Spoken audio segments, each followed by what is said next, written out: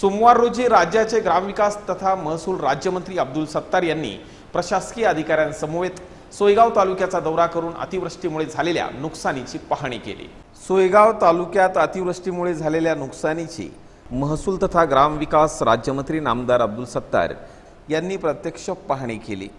यावेळी उपविभागीय अधिकारी ब्रिजेश पाटील उपजिल्हा प्रमुख राजेंद्र राठोड जिल्हा परिषद बांधकाम सभापती किशोर बलांडे युवा नेते अब्दुल समीर तहसीलदार प्रवीण पांडे गटविकास अधिकारी सुदर्शन तुपे जिल्हा परिषद सदस्य गोपीचंद जाधव शिवसेना तालुका प्रमुख दिलीप मचे तालुका कृषी अधिकारी ए जी टाकणकर शहर प्रमुख गजानन चौधरी माजी नगराध्यक्ष संतोष बोडखे पंचायत समिती सभापती उस्मान खा पठाण कृष्णा राऊत अक्षय काळे आदींची उपस्थिती होती. सोयगाव तालुक्यात दोन दिवसापूर्वी अतिवृष्टी झाली.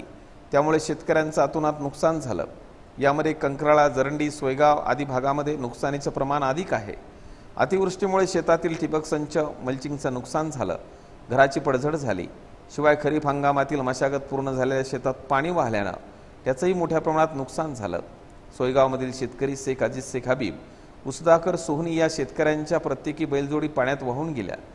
झालेलं नुकसान गंभीर असल्यानं एकही नुकसानग्रस्त पंचनाम्यापासून वंचित राहता कामा नये असं स्पष्ट करत त्वरित पंचनाम्याचा अहवाल शासनाला सादर करण्याच्या सूचना यावेळी अब्दुल सत्तार यांनी प्रशासकीय यंत्रणेला दिल्या.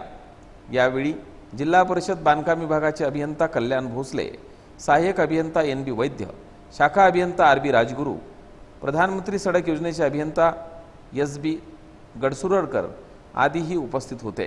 वृत्तप्रतिनिधी दिलीप देसाईसह पूनम परदेसी सोयगाव.